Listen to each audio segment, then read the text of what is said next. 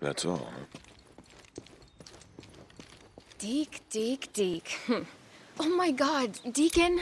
I heard you were the one who got the lights back on. Oh, thank you so much.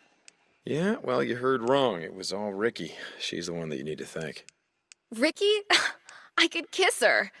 Just don't tell Bree.